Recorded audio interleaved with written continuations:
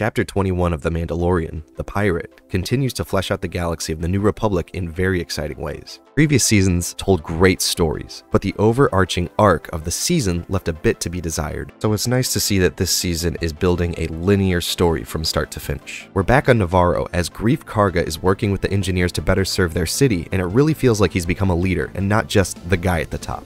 Unfortunately, the Pirate King, Gorian Shard, comes back for revenge on his slain pirates, leaving Greef to seek help from the New Republic. Captain Teva, who we've seen Din interact with last season, gets the distress call from Greef, and it's up to him to call in the cavalry. Here we get a fun cameo by Zeb Orrelios from Rebels, voiced by the legendary Steve Blum. Captain Teva is denied help in a cameo from Tim Meadows, and it's interesting to see how the New Republic is fumbling repeatedly, as it makes their eventual downfall feel more plausible. After the Mandalorians are aware of the situation on Navarro, Din requests the clan go to their aid, as Greef offered him a plot of land that could make for a new home. As Vizsla recalls how their people were left to live in the sewers of Navarro, and how he wants a different life for the young of their clan. Being a father has really given Paz some interesting growth. The action sequence on Navarro is a lot of fun, and we get more cool air combat with both Din's N1 and Bo-Katan's Gauntlet. After the pirates are taken down and Greef fulfills his promise to the Mandalorians, the Armorer and Bo-Katan have an interesting conversation in secret. The Armorer believes they are in a new age of Mandalore, as her belief in Bo seeing the Mythosaur feels concrete. She allows Bo to remove her helmet as she walks within two different worlds. She sends Bo off to gather more Mandalorians. Navarro is a temporary home, but soon they will retake Mandalore. What did you think of the pirate?